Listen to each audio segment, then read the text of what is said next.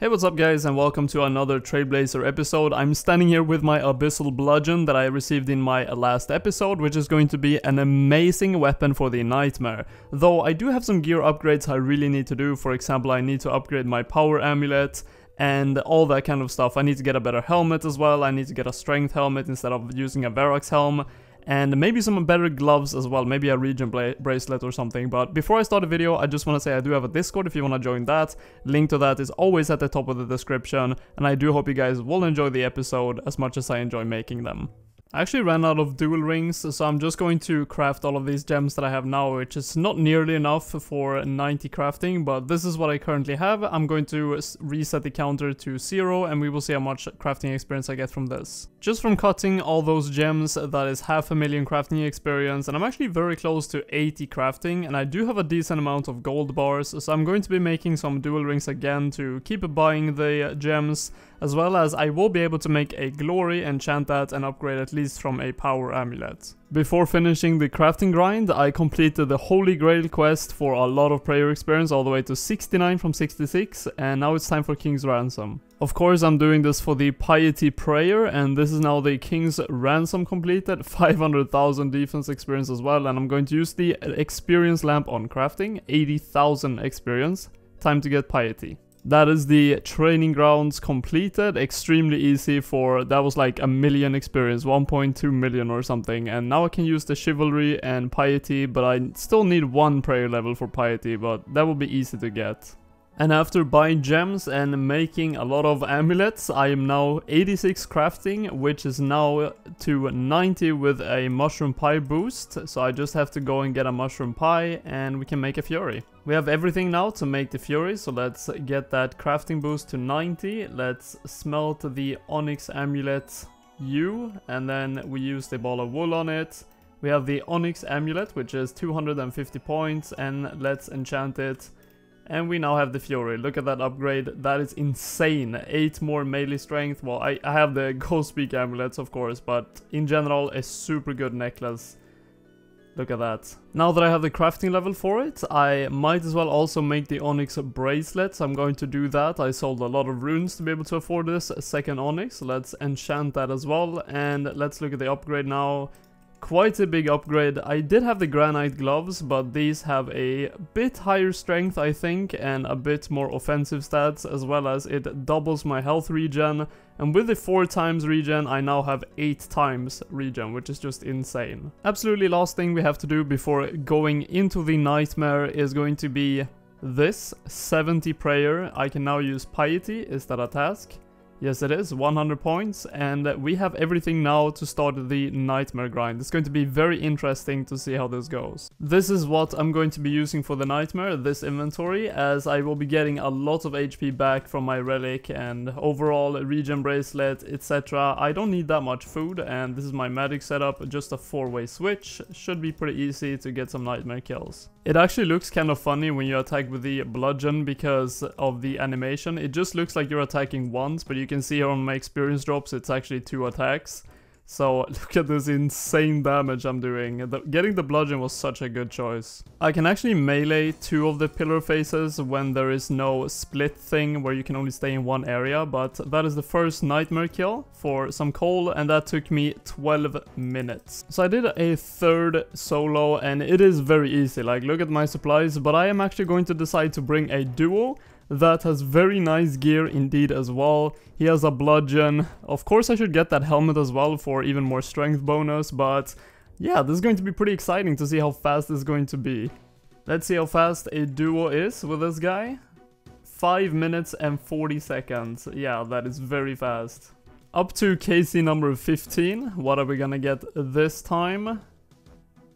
Few serums. Oh, wait, that's actually so good. I was uh, kind of running out of them. Kill number 19, and we're gonna go for 30 more minutes as a duo. Some uncut emeralds. That is some decent crafting experience, though they're pretty easy to get from that store.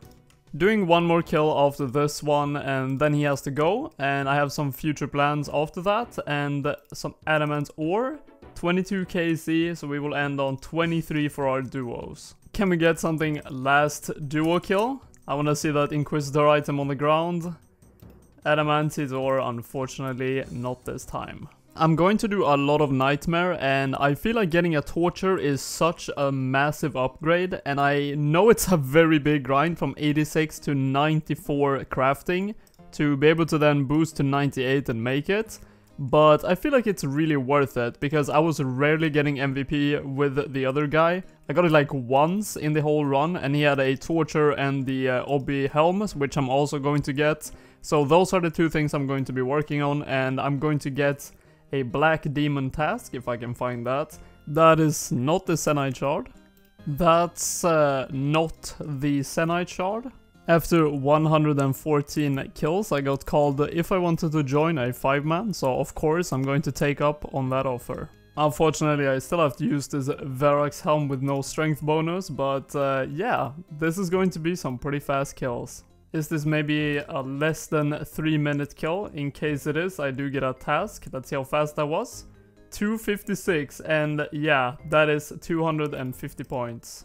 Kill number 33, which is the drop rate of seeing an item, but that is no item, so technically not have, having seen an item at this point is kind of unlucky.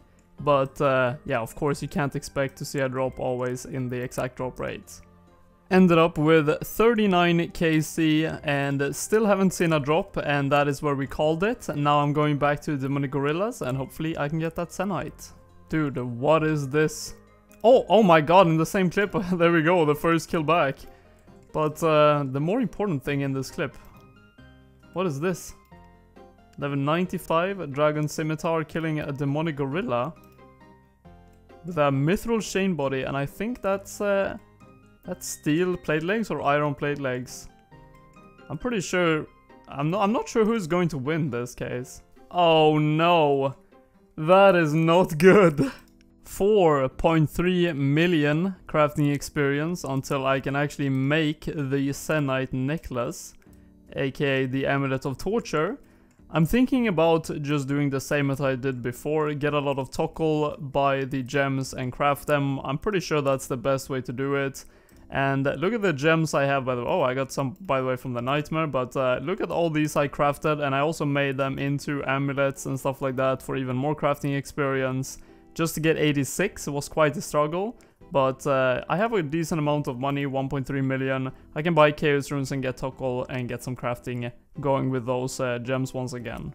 Just finished spending all my 130,000 Tokkul, I have the goal set to 94 and this is not going to be enough, but I want to see how many percent we can get with 130,000 Tokkul spent on gems, so we kind of know how many more Tokkul we need. This is the gems I got, so let's uh, craft all of them. I cut all the gems and I also made some amulets and that gave me roughly 50% of the way there, so I ne still need 2 million experience and I have a way to do that, because I currently have pretty much no Tokkul.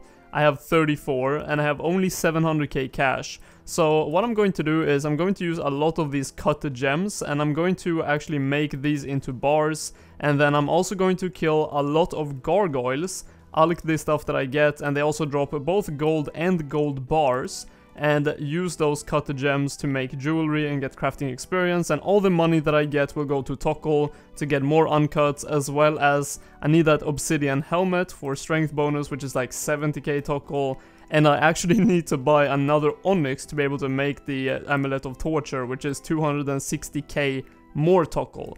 So uh, I need to get a lot of money.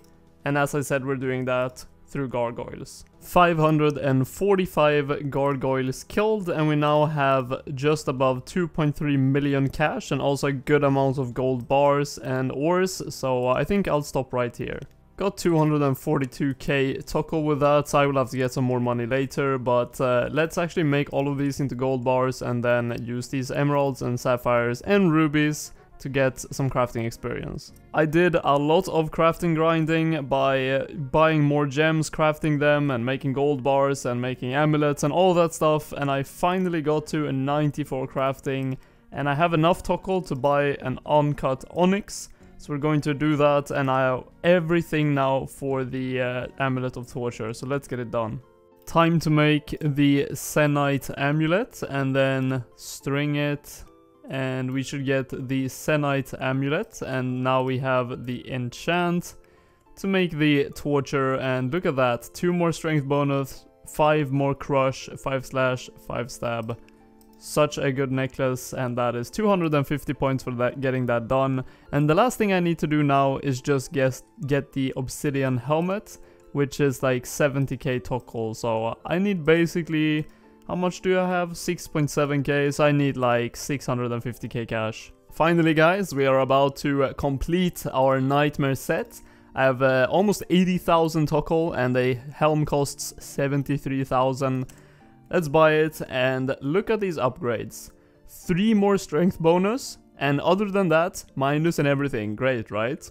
Well, the strength bonus is actually super important. That is by far the best thing to have on the Nightmare.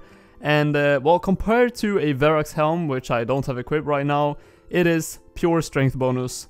And that is exactly what we want having the Amulet of Torture as well. We are now at 114 melee strength. Actually, I probably have more because I have Karamja gloves on right now. Let's go to the bank and check my uh, total. So let's do some comparisons now. I have 120 melee strength in my max melee strength gear. And last time I did the Nightmare, I had only, let's equip this one as well, 115. So 5 more melee strength, which is going to come in handy while doing a lot of Nightmare. Wanted to do a solo nightmare, of course, now with this gear. It is uh, going to be kind of awkward if this was a very slow kill, now with the upgrades, we will have to see. But uh, that is going to be KC number 40 on the nightmare, no drops seen so far. And still no drops, but 11-12, yeah, that is a big increase actually from the last time I did the nightmare solo. It was around 12 minutes every single kill, and now we have it down to 11. And I can actually increase or uh, decrease that time quite a bit because I'm not uh, really maging the pillars that much meanwhile running between them so that is a way I can actually reduce the time even more. I'm going to call the item that's going to drop Inquisitor Hauberk. You guys ready? Saradomin brew. Close enough. 11.28. So yeah, I'm getting consistently below 12 minute kills, which is very nice solo. By the way, they made changes to the Nightmare. Before when you killed it, it was a 40 second respawn time. Now what happens is that you have to click on the nightmare to disturb it, and then it only has a 10 second respawn time. Look at this. 10 second respawn timer. That is so nice for doing solos, especially with the Drainer Relic. You can just stay here forever. That is going to do it for this video. I do hope you guys did enjoy it. If you did, please leave a like. It really means a lot to me. And uh, if you want to see more of my content, make sure to subscribe. Of course, you already know that, but uh, I have to say it anyways. And if you want to see more of my videos right now, you can click any of the videos on the screen right now or go into my channel and click any of the videos you want to see. Have a good one, guys. Take care. See you in the next one.